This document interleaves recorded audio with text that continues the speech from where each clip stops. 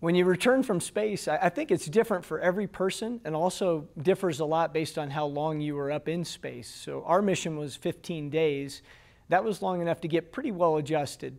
And when we got back, uh, I just remember that we rolled out on the runway at Kennedy Space Center. And when we came to a stop, it felt like to me the, the runway was pitching up and down about six feet, like being on the ocean.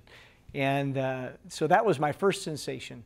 And then, of course, later when I got to uh, get up and, and try and walk, like you said, it felt like I had uh, gained 100 or 200 pounds, just felt very heavy.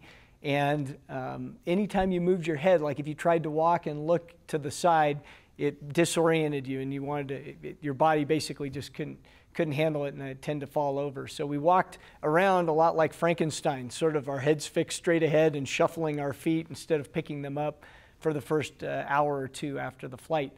Um, we actually, when we first get off, go into a trailer that pulls up to the shuttle, and it gives us a chance to sit there and kind of uh, relax, get some water, um, and get changed into fresh clothes.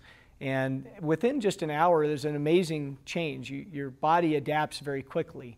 But um, we then got out of the trailer and got a chance to walk around the space shuttle and look at, at the vehicle. And still, again, at that point, uh, even just an hour or two hours after the flight, um, you're feeling a lot better, but you have to be careful uh, not to exacerbate your inner ear and what it is that gives you balance. Uh, so, generally, keeping your head focused straight ahead helps. And you'll notice that with most of the astronauts. After a mission, uh, they're trying to just walk fairly straight. Um, I found that it took about three days before I felt pretty much completely back to normal. And it just gradually, the effects gradually uh, died off.